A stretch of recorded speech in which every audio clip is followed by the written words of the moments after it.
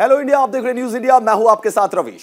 Hello India मैं हूँ आपके साथ निदा अहमद। चलिए बुलेटिन की शुरुआत करते हैं और बात करते हैं सबसे पहले बड़ी खबर की। आपको बताने के देश के प्रधानमंत्री नरेंद्र मोदी ने यूएस प्रेसिडेंट बाइडेन से फ़ोन पर बातचीत की है। दोनों नेताओं में द्विपक्षीय सहयोग बढ़ाने पर यह बातचीत की गई है। तो पीएम मोदी ने यूएस प्रेसिडेंट बाइडेन से फ़ोन पर बातचीत की है। पीएम ने भारत अमेरिका के मज़बूत रिश्ते पर संतोष जताया है।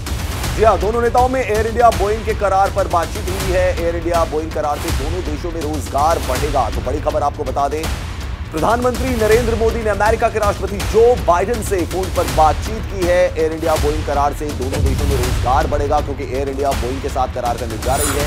पीएम मोदी ने यूएस प्रेसिडेंट बाइडेन से फ़ोन पर बातचीत की है। उन्होंने कहा कि दोनों देशों के रिश्ते बहुत अच्छे हैं, बहुत मज़बूत हैं। द्विपक्षीय सहयोग बढ़ाने पर यह बातचीत की गई है क्योंकि एयर इंडिया करार करने जा रही है बोइंग के साथ, क्योंकि बोइंग एक अमेरिकी कंपनी है और उनसे एयर इंडिया ने यह फैसला लिया है कि वो विमान खरीदेगी और अपनी जो सेवा है, उसको और आगे बढ़ाएगी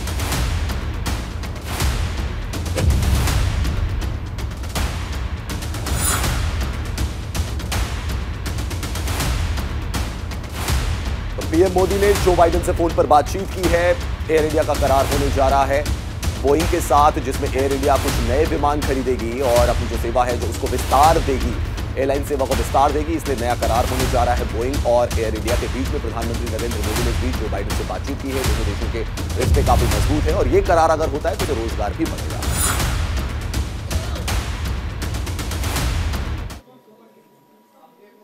चलिए, एक और बड़ी खबर आपको बताते हैं। मेघालय में आज बीजेपी जारी करेगी अपना घोषणा पत्र। जी हाँ, मेघालय में चुनाव है और इस बीच बीजेपी अपना घोषणा पत्र जारी करने जा रही है। बीजेपी के राष्ट्रीय अध्यक्ष जेपी नड्डा घोषणा पत्र को जारी करेंगे और आपको बता दें, सुबह करीब 11 बजे ताज विवानता शिलांग में यह घोषणा पत्र जारी किया जाएगा। तो बड़ी खबर आपको बता रहे हैं, बीजेपी मेघालय में अपना घोषणा पत्र जारी करने जा रही है। जेपी नड्डा आज सुबह 11 बजे खबर है कि बीजेपी का घोषणा पत्र जारी करेंगे।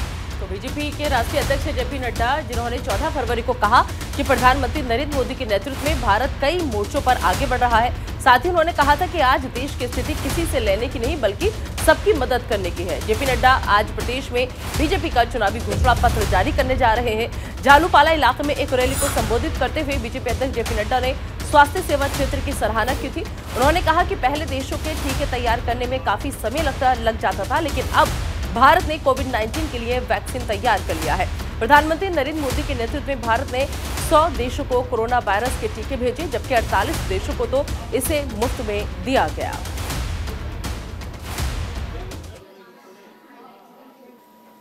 और इधर आज गुजरात के दौरे पर रहेंगे लोकसभा अध्यक्ष ओम बिरला। अहम खबर, बड़ी खबर गुजरात दौरे पर जा रहे हैं। आपको बता दें कि प्रबोधन कार्यक्रम का ओम बिरला उद्घाटन करेंगे। आज इस दौरान तो अहम खबर, बड़ी खबर, आज गुजरात के दौरे पर लोकसभा अध्यक्ष ओम बिरला जो है वो रहने वाले हैं। दरअसल कार्यक्रम जो है, उनके काफ़ी कार्यक्रम है आज, लेकिन उसमें प्रबोधन कार्यक्रम का ओम बिरला जो है वो उद्घाटन करेंगे और साथ साथ इस कार्यक्रम में सीएम भूपेंद्र पटेल और कई गणमान्य ऐसे हैं जो मौजूद रहेंगे। जी हाँ लोकसभा अध्यक्ष ओम बिरला आज गुजरात दौरे पर रहेंगे। गांधीनगर में विधानसभा के सदस्यों के लिए आयोजित प्रबोधन कार्यक्रम का लोकसभा स्पीकर उद्घाटन भी करेंगे। इस प्रबोधन कार्यक्रम में मुख्य रूप से सर्वोच्च प्रतिनिधि संस्था के रूप में संसद की संवैधानिक भूमिका और स्थिति की जानकारी देने के साथ ही सदस्यों को विधायिका की कार्यप्रणाली, संसदीय परंपराओं, बैठकों और शिष्टाचार के बारे में भी बताया जाएगा।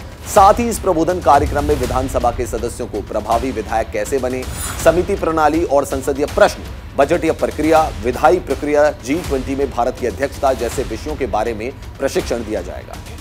इस कार्यक्रम में आपको बता दें कि मुख्यमंत्री भूपेंद्र पटेल, गुजरात विधानसभा के अध्यक्ष शंकर चौधरी और इनके साथ ही तमाम गणमान्य लोग जो है वो मौजूद रहेंगे। तो गुजरात दौरे पर रहेंगे लोकसभा के स्पीकर ओम बिरला। वहाँ पर वो विधानसभा के जो विधायक हैं, विधानसभा को भी संबोधित करेंगे, प्रबोधन कार्यक्रम में हिस्सा लेंगे और तमाम चीज़ों के बारे में जानकारी देंगे। चलिए, अगली बड़ी खबर दिल्ली से। दिल्ली हाई कोर्ट ने बुलडोजर कार्रवाई पर एक्शन लिया है। महरौली में बुलडोजर कार्रवाई पर रोक लगा दी गई है। बड़ी खबर आपको बता रहे हैं। दिल्ली हाई कोर्ट ने बुलडोजर कार्रवाई पर एक्शन लिया है। बुलडोजर कार्रवाई पर रोक लगा दी गई है। दो दिन के लिए बुलडोजर कार्रवाई पर यह रोक लगाई गई है। दिल्ली हाई कोर्ट ने डीडीए और एएसआई को नोटिस भी जारी किया है।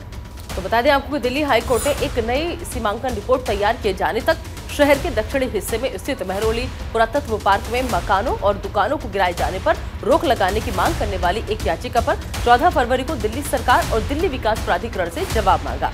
वहीं जस्टिस विनी पुष्करला ने महरौली और resident and shop owners welfare की याचिका पर नोटिस जारी किया और साथ ही उन्होंने निर्देश भी दिया है कि इस विषय को चीफ जस्टिस की अध्यक्षता वाली खंडपीठ के सामने रखा जाए, जहाँ इसी तरह का एक विषय पहले से लंबित है। इस बीच दिल्ली के उपराज्यपाल वीके सक्सेना ने मेहरोली और लाडूसराय में डीडीए द्वारा जारी अतिक्रमण विरोधी कार्रवाई पर अगले आदेश तक रोक लगा दी है। बता दें कि उपराज्यपाल के इस आदेश के बाद उन लोगों ने राहत की सांस ली होगी, जिनके घरों और दुकानों पर आने वाले दिनों में कार्रवाई होने वाली थी। इससे पहले दिल्ली हाई कोर्ट ने तोड़फोड़ कार्रवाई में हस्तक्षेप करने से इनकार कर दिया था। अब कोर्ट ने अपने आदेश में कहा है कि खंडपीठ एक के सामने इसी तरह के मुद्दे लंबित रहने की दलीलों और तथ्यों पर विचार करते हुए ये विषय इसी खंडपीठ के सामने रखा जाए, वो 17 फरवरी को चीफ जस्टिस के आदेश पर निर्भर करेगा। दिल्ली हाईकोर्ट ने दो दिन के लिए मेहरोली में बुलडोजर कार्रवाई पर रोक लगा दी है। और दिल्ली हाईकोर्ट ने दिल्ली सरकार, डीडी और एएसआई को इस दौरान नोटिस भी जारी किया है। तो दिल्ली हाईकोर्ट ने बुलडोजर कार्रवाई पर फ़िलहाल एक्शन लेते हुए दो दिन के लिए रोक है और दो दिन तक वहाँ के लोगों ने राहत की सांस ली है। चलिए बढ़ते आगे। कर्नाटक में पीएम मोदी ने सिनेमा खेल से जुड़े तमाम दिग्गजों से मुलाकात की। इन दिग्गजों से पीएम की मुलाकात काफ़ी अहम मानी जा रही है, क्योंकि कर्नाटक में चुनाव होने वाले हैं। ऐसे में KGF star Yash, cricketer Anil Kumble समेत कई बड़ी हस्तियों से मुलाकात क्यों है? खास, आइए आपको समझाते हैं इस रिपोर्ट के ज़रिए।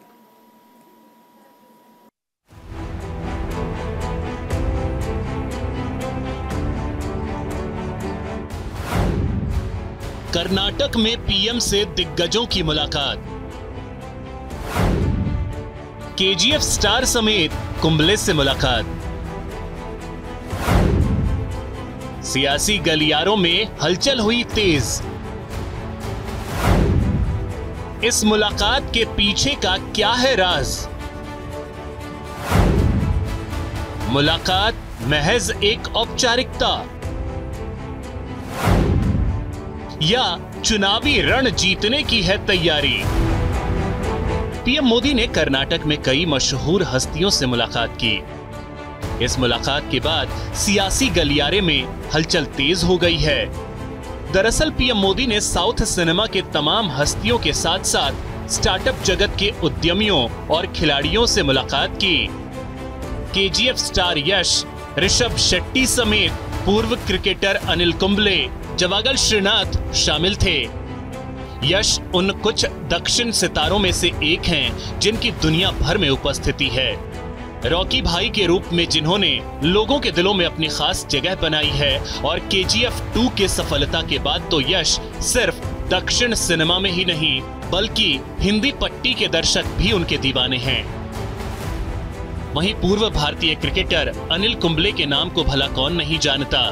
भारत के बेहतरीन स्पिनर रहे अनिल कुंबले जंबो के नाम से क्रिकेट प्रशंसकों के बीच मशहूर हैं। ऐसे में राजभवन में भले ही पीएम मोदी ने इन हस्तियों से औपचारिक मुलाकात की हो, लेकिन सियासी पंडित इसके कई मायने निकालने में जुट गए हैं।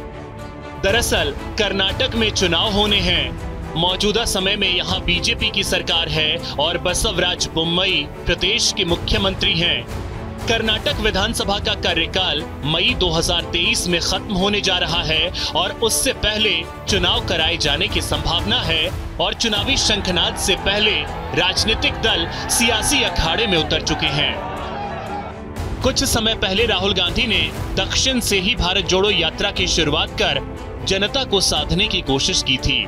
हालाँकि 2019 के बाद लोकसभा चुनाव के बाद ऑपरेशन लोटस में यहाँ से कांग्रेस की सरकार छिन चुकी है और कांग्रेस जनाधार जुटाने के लिए कड़ी मेहनत करती नज़र आ रही है। ये अलग बात है कि कांग्रेस का जनाधार ज़मीन पर मज़बूत होगा या नहीं, ये आने वाला वक्त ही बताएगा। लेकिन तैयारियों में कांग्रेस कोई कोर कसर नहीं छोड़ना चाहती।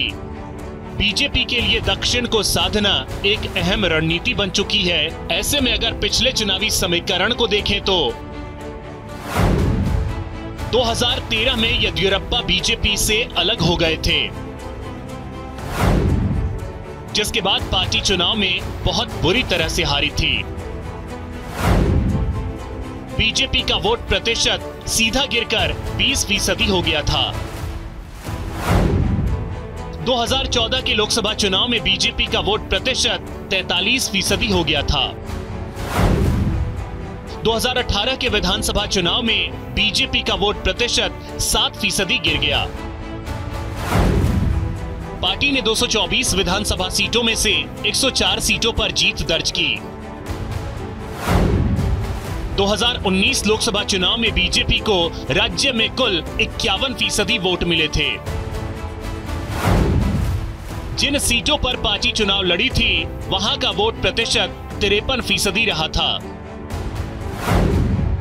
राज्य में पार्टी ने 28 लोकसभा सीटों में से 25 पर जीत दर्ज की थी। भले ही कर्नाटक में बीजेपी सत्ता में है, लेकिन बीजेपी सरकार विपक्ष को कोई मौका नहीं देना चाहती। यही वजह है कि हैदराबाद में बीजेपी ने संकल्प सभा का आयोजन कर इस बात का संकेत दिया था कि अब बीजेपी दक्षिण के सियासत में कमल खिलाने की योजना बना रही है। ऐसे में भले ही कर्नाटक में दिग्गजों से मुलाकात को एक महज औपचारिकता मानी जाए, लेकिन इसके पीछे के संकेत कुछ खास हैं और ऐसे में अगर इसे चुनावी रणनीति से जोड़कर देखा जाए तो गलत नहीं होगा। Bureau report, news India.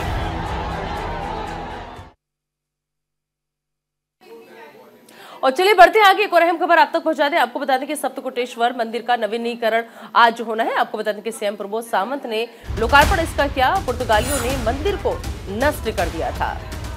Goa के सीएम प्रमोद सावंत ने मीडिया से बातचीत करते हुए कहा कि सप्तकोटेश्वर मंदिर को फिर से नवीनीकरण करना मेरे लिए गर्व की बात है। दरअसल, सप्तकोटेश्वर मंदिर को पुर्तगालियों ने नष्ट कर दिया था, जिसके बाद उस मंदिर को छत्रपति शिवाजी ने 350 साल पहले महाराष्ट्र से गोवा आकर दोबारा स्थापित किया था।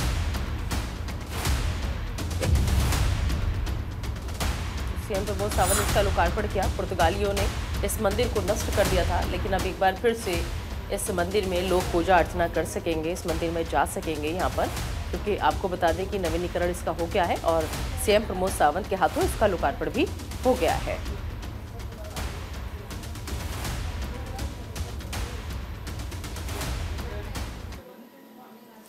और अब बात करेंगे एरो इंडिया शो 2023 के तीसरे दिन की। आपको बता दें कि एरो इंडिया में मेड इन इंडिया का जलवा जो है, वो लगातार बरकरार है। आसमान में भारत की ताकत लगातार हम देख रहे हैं।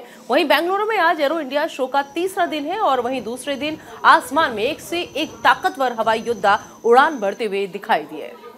इस एयर शो में अट्ठानवे देश शामिल हुए। हिंदुस्तान के वायुवीरों ने हवाई सुरक्षा में आत्मनिर्भर भारत की मिसाल पेश की थी।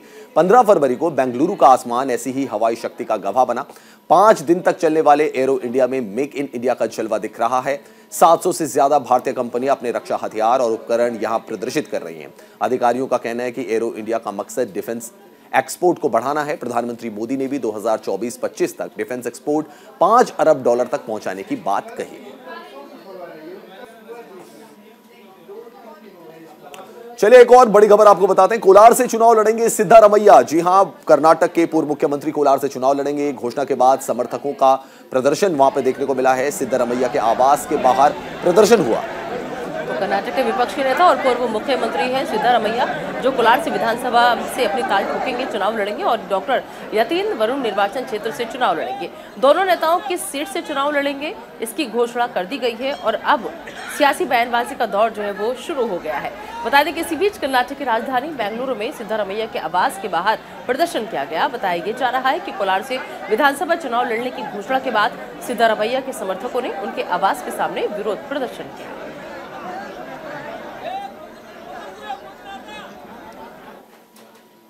उधर तिरुवनंतपुरम में कांग्रेस का हल्ला बोल देखा गया। केरल सरकार के खिलाफ कांग्रेस ने प्रदर्शन किया। केरल में राज्य सरकार के खिलाफ कांग्रेस का हल्ला बोल जो है वो लगातार जारी है। विधानसभा में बजट पेश होने के बाद से कांग्रेस सड़कों पर है और लगातार प्रदर्शन कर रही है। इसी बीच कांग्रेस ने केरल की राजधानी तिरुवनंतपुरम में जोरदार प्रदर्शन किया। कांग्रेसी नेताओं ने ईंधन पर उपकर लगाने के लिए राज्य सरकार के खिलाफ विरोध प्रदर्शन किया। तो लगातार कांग्रेस वहाँ पर सरकार के खिलाफ प्रदर्शन कर रही है। कांग्रेस के कार्यकर्ता सड़कों पर उतर आए हैं और लगातार ये प्रदर्शन किया जा रहा है, जो ईंधन पर उपकर लगाया गया है, उसको लेकर ये विरोध प्रदर्शन जो है वो लगातार चल रहा है। तस्वीरों में भी आप देख सकते हैं, कांग्रेस के जो कार्यकर्ता है, वो सड़कों पर उतर आए हैं। केरल की राजधानी तिरुवनंतपुरम की ये तस्वीरें हम आपको दिखा रहे हैं।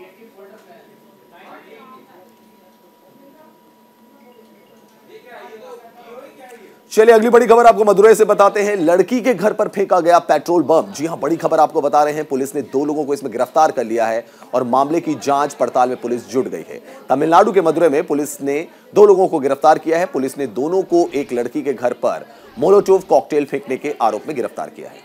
पुलिस सूत्रों की अगर हम बात करें तो पुलिस सूत्रों के मुताबिक, मेला अनुपा नदी में बॉडीबेल स्ट्रीट पर 45 वर्षीय सरवन कुमार के घर में दोपहर के समय ये घटना हुई। बता दें, आपको कि मणि रत्नम और उसका दोस्त पार्थ सारथी घर पर देसी बोतल बम फेंकने के बाद मौके से फरार हो गए। इस घटना में जान माल का कोई नुकसान नहीं हुआ है। बताया जा रहा है कि आरोपी ने एक तरफा प्यार में इस घटना को अंजाम दिया है। फ़िलहाल पुलिस आरोपियों को गिरफ़्तार कर जाँच पड़ताल में जुटी हुई है।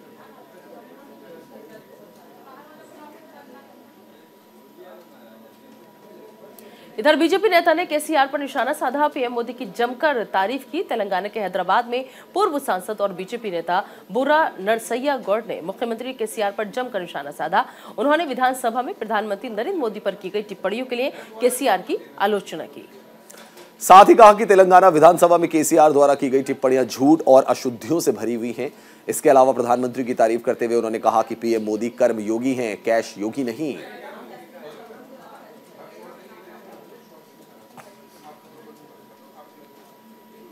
चलिए एक और बड़ी खबर आपको बताते हैं। तटरक्षक बल की पासिंग आउट परेड हुई कोचिंग, कोची में पासिंग आउट परेड समारोह और इस समारोह में केरल में, केरल के कोची में पिछहत्तरवें तटरक्षक बल की पासिंग आउट परेड का आयोजन किया गया। तटरक्षक सहायक कमांडेंट कोर्स की पासिंग आउट परेड हुई। तटरक्षक मुख्यालय फोर्ट में आयोजित की गई। सहायक कमांडेंट और डीपी के पचहत्तरवें कोर्स के 19 अधिकारी 19 अधिकारी CG law and operations course के सफल समापन पर भारतीय तटरक्षक प्रशिक्षण केंद्र कोच्चि के पोर्टल से पास आउट हुए और एक सप्ताह के इस ट्रेनिंग के दौरान बता दें आपको कि अधिकारियों ने तटरक्षक विशिष्ट विषयों जैसे कि समुद्री कानून, खोज और बचाव बोर्डिंग और साथ ही साथ नियंत्रण और इसके अलावा समुद्री प्रदूषण की रोकथाम कैसे की जाए और नियंत्रण इस पर कैसे किया जाए और कर्तव्यों के सी चार्टर से संबंधित अन्य विषयों पर निर्देश भी दिए।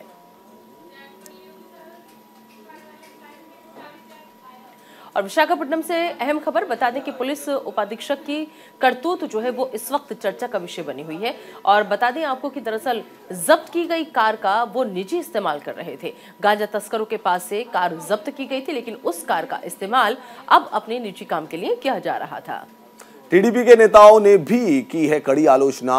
अनाकापल्ली में पुलिस उपाध्यक्ष आजकल चर्चाओं में बने हुए हैं और चर्चा में बने रहने की वजह से गांजा तस्करी मामले में जब्त की गई कार का निजी प्रयोग, ये बात सामने आ रही है। दरअसल खबरों की माने तो पुलिस उपाध्यक्ष बी सुनील ने कथित तौर पर उस कार का प्रयोग किया जो गांजा तस्करों के पास से जब्त की गई थी, जिसके बाद पुलिस उपाध्यक्ष को काफ़ी आलोचनाओं का सामना करना पड़ा था। चलिए एक और खबर आपको बताते हैं। रामेश्वरम से है महाशिवरात्रि उत्सव कार्यक्रम का आयोजन और इसमें साथ ही साथ रामनाथ स्वामी मंदिर में किया गया आयोजन। दर्शन के लिए श्रद्धालुओं की भीड़ उमड़ी, पर्याप्त सुरक्षा बल न होने से यातायात बाधित हो गया।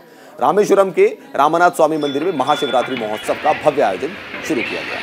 यह आयोजन 12 दिन तक चलेगा और इस आयोजन के तीसरे दिन रामनाथ स्वामी ने चांदी के वाहन में मंदिर से प्रस्थान किया, जहाँ रास्ते में जगह जगह पर श्रद्धालुओं ने रामनाथ स्वामी का स्वागत किया। इस दौरान पर्याप्त सुरक्षा बल मौजूद नहीं होने के कारण लोगों को आवागमन में काफ़ी दिक्कतों का सामना भी करना पड़ा। साथ ही श्रद्धालुओं को भी काफ़ी समस्याएँ झेलनी पड़ी।